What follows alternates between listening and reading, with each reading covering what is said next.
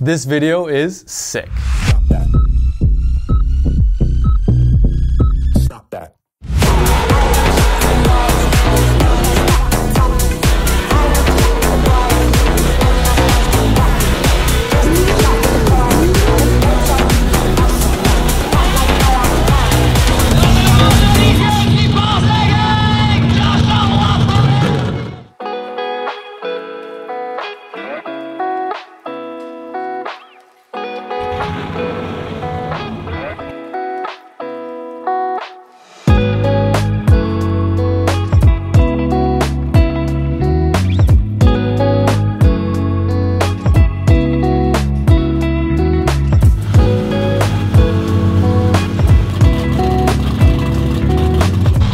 Quebec.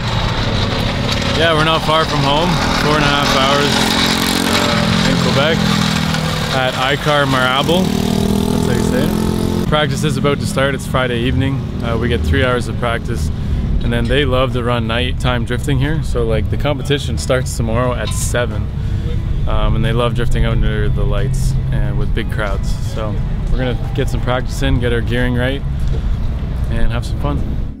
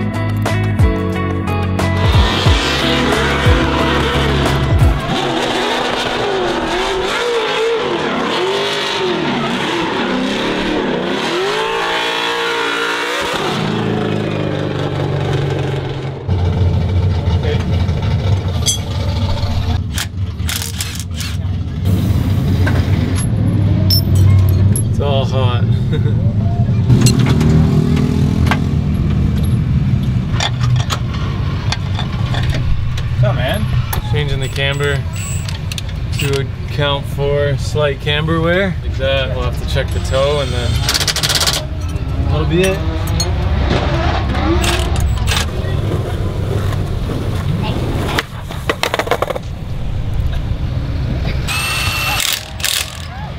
How's it all look? With the runs? Yeah, Yeah, no, so we're gonna drop the tire pressure, run fourth for leads, Okay. thirds for chases, so the clutch is gonna be a lot happier. Yeah. I don't really work it much in the lead. No, no.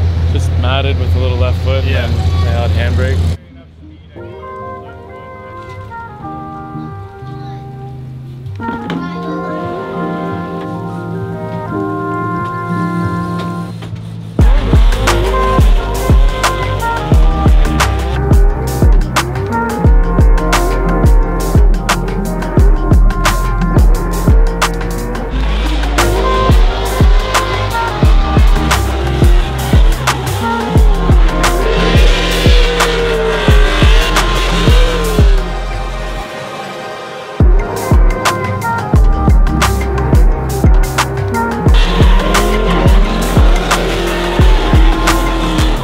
Had little debacle with the taillight wiring, but light work, got it fixed up. Wiring guru over the phone with Joel. other I was initiating like points with. Matt helped us out. It's such a weird. Good no, vibes it's a out weird here. line. So I was just Liking the cool like, weather. launching in the pits. There's it. so much Sick. margin for what is Yeah. gonna do. Like, yeah.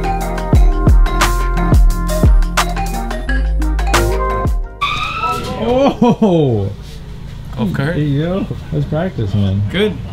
Yeah, we didn't have to do too many changes. Um, smaller track than I thought. Way smaller. Um, but tomorrow's competition day, and we're going to bed. I got my kids here. Eli's pretty pumped to use the headset, although he just says hi over and over and over again. But yeah, it, it was good. So we'll see you guys in the morning.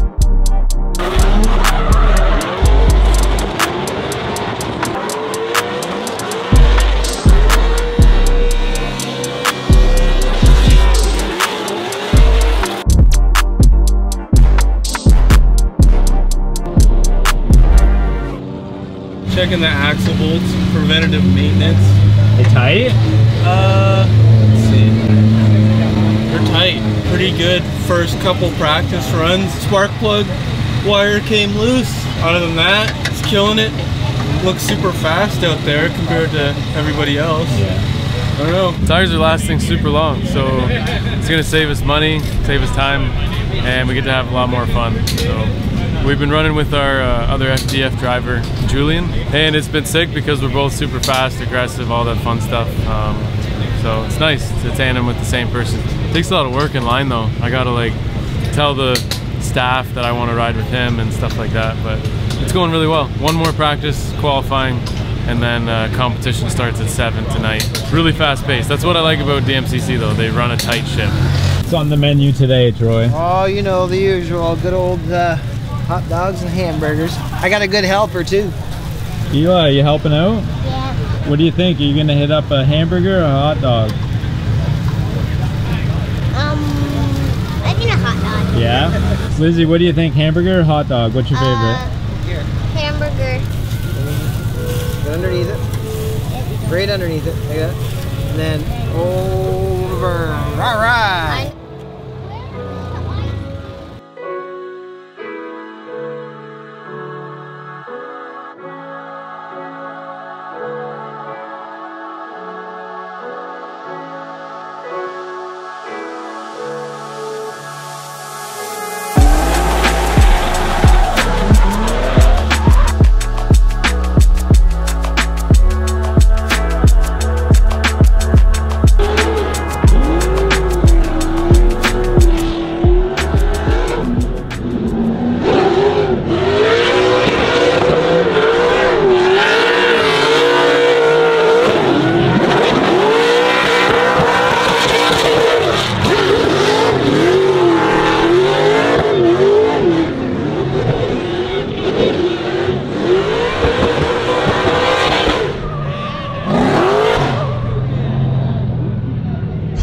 Do now?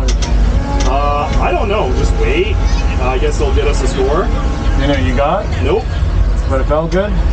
I didn't spin. That's I got into the I got into the wall a little bit. At Oh. the last part, the track is slipperier for some reason. Yeah, it was slick. Yeah. Okay. It's not just me.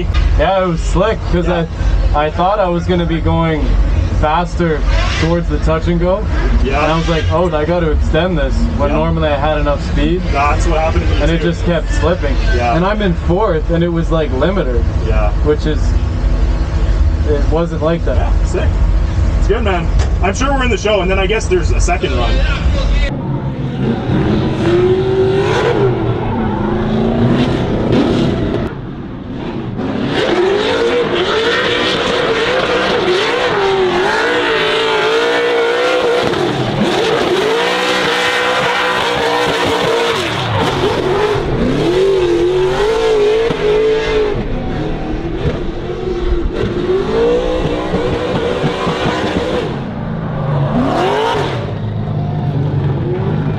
Uh, yeah, no, we're good. We just finished our drivers meeting. Um, we dropped like 14 drivers from qualifying because we're only doing top 16, not top We 30. should probably say what we got. So we ended up with two Qualifying. 83s. Um, qualifying here is the same as FD from like three, four years ago. Uh, two runs, best run counts, all the rest of it. So we did both runs, first and second, were both 83s. Honestly, a really solid run. I would have thought it would have been scored a little higher than that, but we can't really complain with that. So we're in the show. We're against uh, our good buddy Mike Reich, so it'll be a really good battle either way. And uh, yeah, we're gonna do a little driver presentation, drive around, and then uh, we'll be into it. So stay tuned.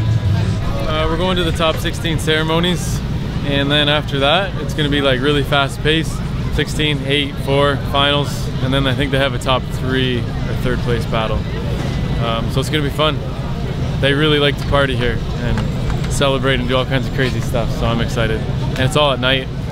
It's supposed to rain at like 9 or 10. Hopefully that holds off. And uh, yeah, heading to the ceremonies. Just wanna move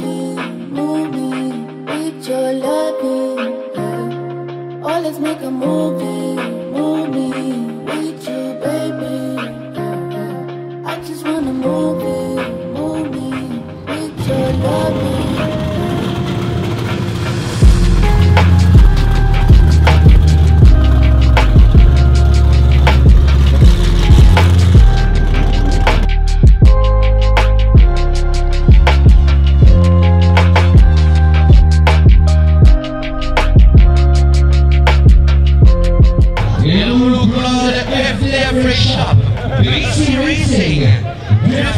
HQ, Cosmos Racing, Fab Mac, Zegno, Grassroots, International, Jimmy, Trenton, Ontario, Josiah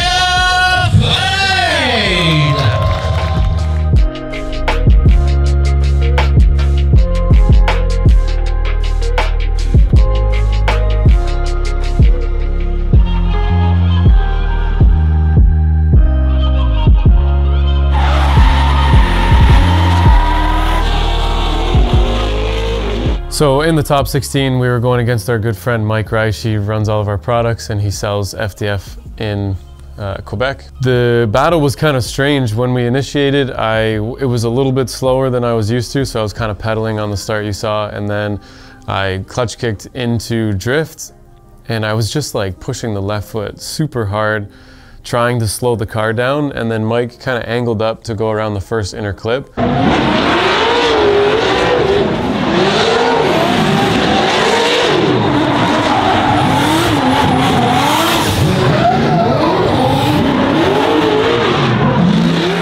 So it's full throttle past the first inner clip, and then there's a slight transition and a decel going past inner clip two, and then you're full throttle to make it out to the touch and go.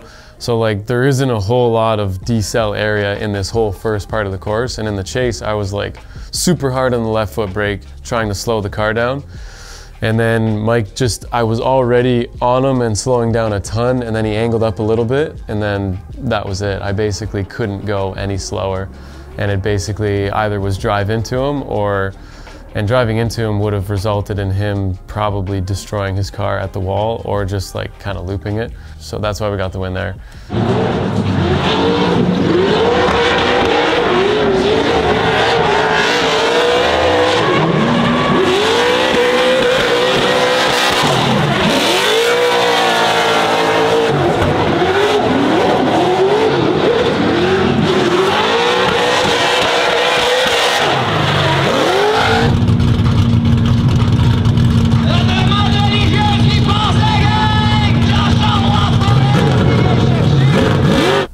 But it was super cool. So this is something with a spotter where you build up a relationship where you trust, I trust what my spotter's telling me and I simply just do it. So basically I found in, out in the practice before, the night before, this track has two transitions, meaning you are going through a smoke line the whole time. And at night you can't see anything.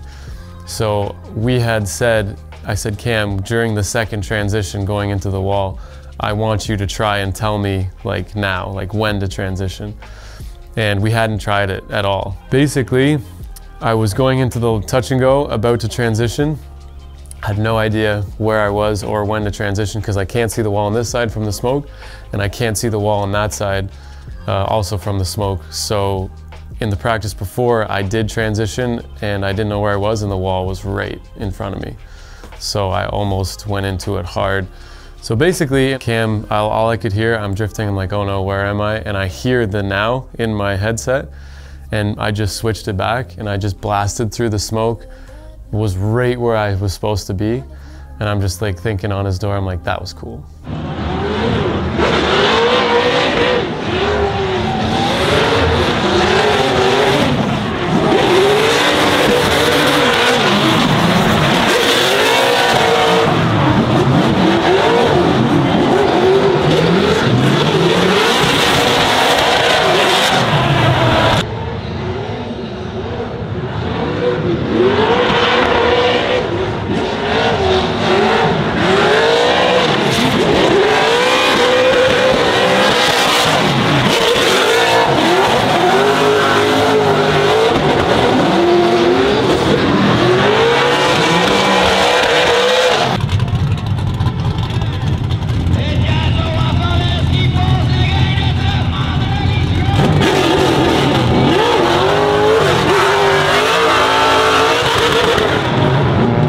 all the growth that we're going through, it's like we're becoming a team that's going to be unstoppable. And we've gone from um, two top eight finishes, from eighth to fifth, um, and then to first at this event, the last three events. The progression is like on the incline, it's very consistent.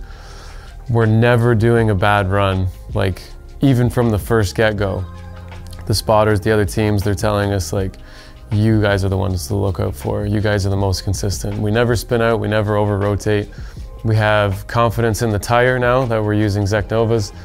And it seems like um, whenever the car and myself are in this uh, mindset and the team is, is functioning well, like the only way we're gonna lose is by some mundane thing, like something that is not controlled by us, which is an incredible spot to be in.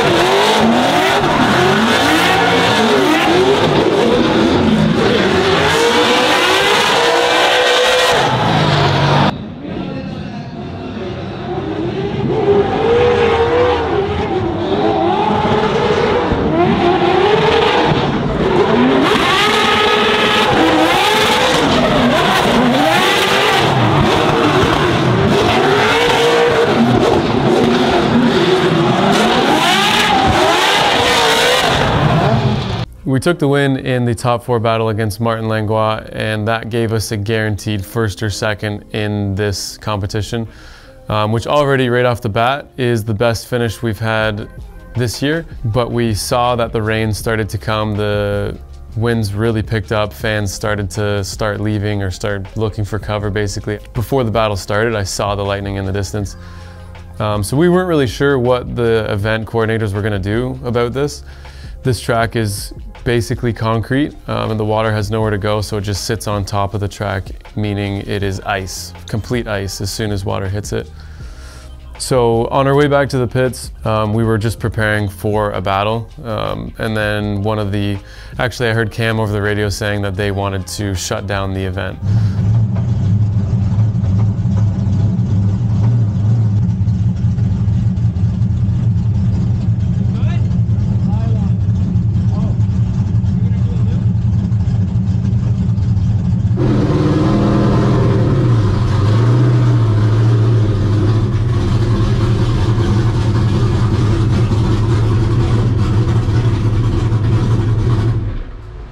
Us being the only ones guaranteed in the finals. Um, they had the other two drivers, Mayo and Tommy. Basically, it was just the three of us left with only one of us guaranteed as first or second. So what they decided to do was give the prize money divided by three. So $8,000 divided by three gives us like about $2,700 each. And then they gave me the first place check, and uh, but technically they gave the three of us a split first place pot with us having the slight advantage of being the only one guaranteed.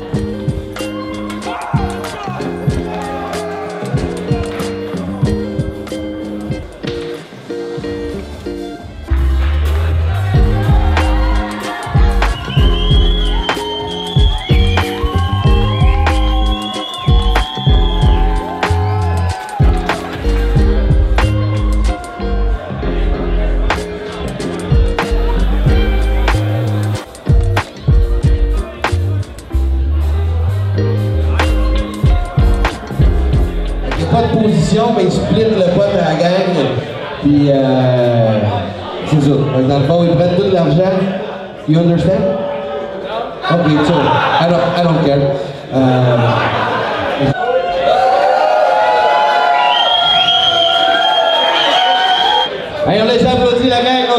Gagnants. Um, I'm really happy and we're having fun finally. So this is the important thing about what we're doing this for, is that it, it makes our brand look really good. That's the main goal, is for the brand.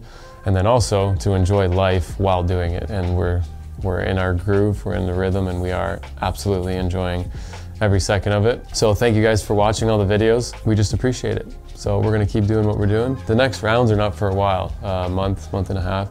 We've got some cool things that we're gonna update on the car. Thank you guys for watching, and we'll see you guys on the next one.